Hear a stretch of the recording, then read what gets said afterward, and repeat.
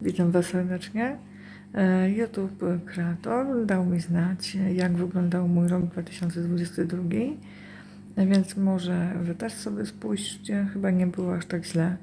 A to wszystko dzięki Wam, że ze mną jesteście, że mimo tego, że popełniam błędy, że może nie jest idealnie, e, to jednak zaglądacie do mnie, patrzycie co się dzieje i popatrzcie sobie.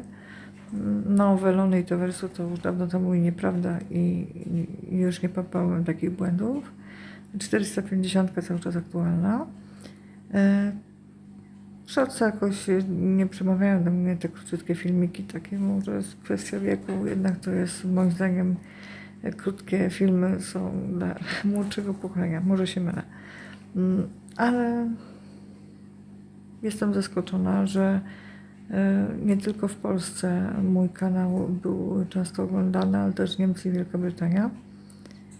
E, Jeśli macie swój kanał na YouTubie, również nakręćcie taki krótki filmik z tego podsumowania rocznego i pokażcie wszystkim swoim subskrybentom. Dzięki temu możemy podziękować też właśnie tym osobom, że są z nami, że oglądają nasze filmy, że wracają i są cały czas z nami jako nasza grupa, nasza społeczność. W końcu jesteśmy wszyscy akwarystami. Pozdrawiam.